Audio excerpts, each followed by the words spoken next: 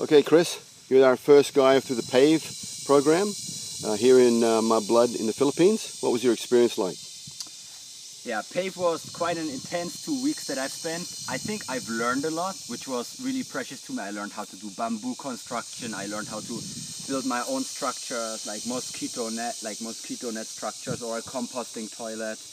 Um, I've I've learned how to how to work with a soil here with the clay, which is very different from things that I've that I've gotten used to um, in the past. Also, I saw how the whole project was developing extremely rapidly. We've built we've built fences for the chicken and for the gardens. We've built housing structures that we can stay in. Um, yeah, all in all, I think there has been a lot of learning going on. Also in terms of I've I've learned how to connect uh, to the local electricity